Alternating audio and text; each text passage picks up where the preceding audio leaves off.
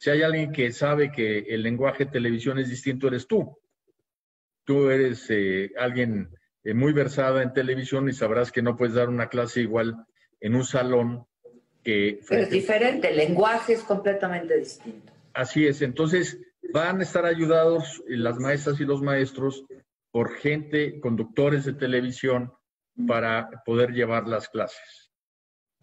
¿Van a estar con conductores de televisión en vivo o solamente como un asesoramiento a los maestros? En vivo.